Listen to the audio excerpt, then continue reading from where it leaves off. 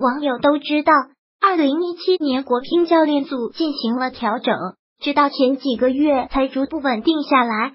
然而，刘国正教练身兼数职，精力方面有些跟不上，年轻球员的成长速度也远远没有达到预期。不过，近段时间国乒不断有好消息传出，这无疑是积极的讯号。目前，对于国乒来说，亚运会将是重头戏。球迷也都非常的关注。就之前的消息，国乒男女队多名核心球员将不会参加，也就是由刘国正和李隼两名教练员带队。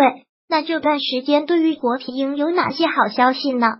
首先就是邱一可和张扬两名教练员的加入，分别在女队和男队的教练组名单中。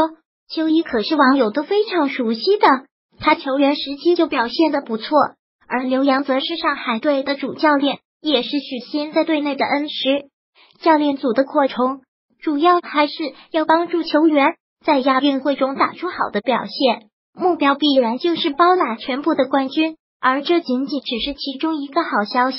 随后就传出国乒功勋教练秦志戬的回归。此前有消息称，江苏队和北京队都希望能够邀请到秦志戬执教。而随着张雷回归到北京乒乓球队。成功将秦志戬请出山，他接下来将会在北京队执教。要知道，在国家队期间，秦志戬就执教过马龙。这样的情况下，张雷和秦志戬将会更加有针对性的给马龙制定计划。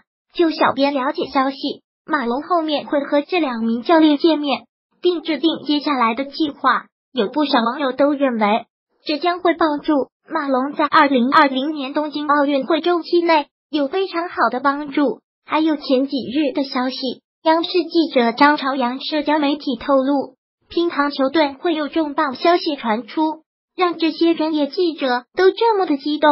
想来了也会是好消息。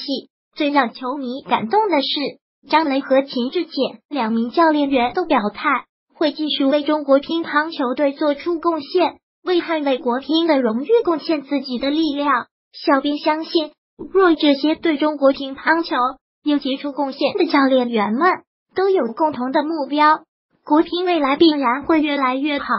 有不少依旧期待刘国梁回归的网友，可能也会在未来某个时刻发生吧。从刘国梁的动态中就可以看出，他的心思依旧在乒乓球上。